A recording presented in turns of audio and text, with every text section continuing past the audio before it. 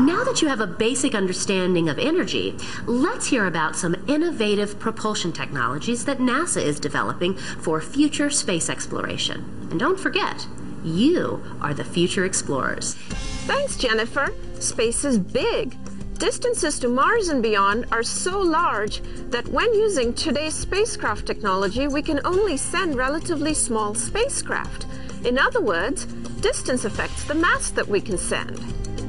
NASA is working on a new way of powering space vehicles that will enable us to send more complex spacecraft to Mars, Jupiter, and beyond, and may even shorten the travel time. The new program is called Prometheus. It will provide a giant leap in our ability to explore our solar system. The program focuses on using nuclear power in long distance spacecraft.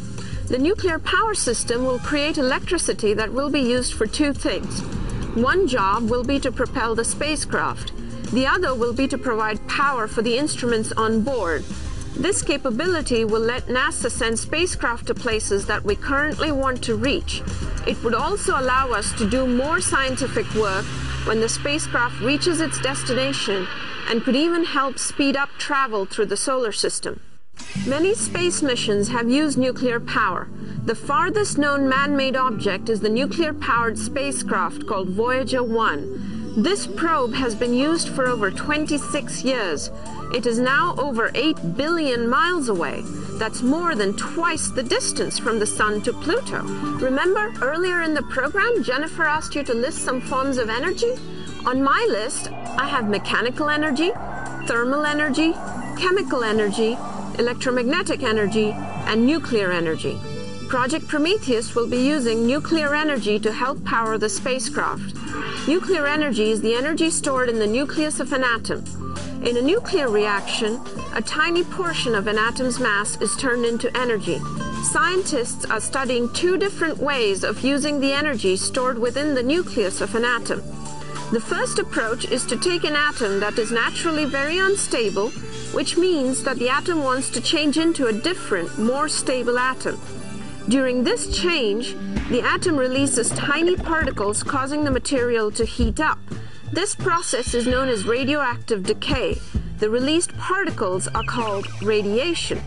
The heat that is released can be harnessed and converted to electrical energy. This energy can then be used to power the spacecraft systems. It is called radioisotope decay.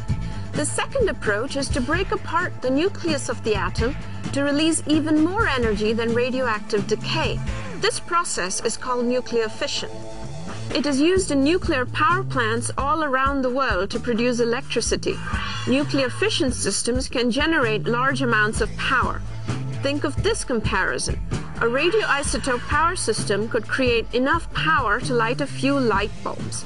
A nuclear fission power system could create enough energy to power a laundromat. This increased amount of energy means that a nuclear fission energy system could do more than just power a spacecraft's scientific instruments. It could also be used to run the engines that propel the rocket. NASA hopes to use this technology soon. In fact, it's already working on the first probe to use this technology. This probe is the Prometheus 1 mission. This mission will use a nuclear fission system. This system would provide energy for both spacecraft electrical power and propulsion.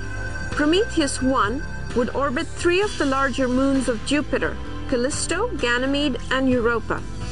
Europa is one of our solar system's most fascinating celestial bodies.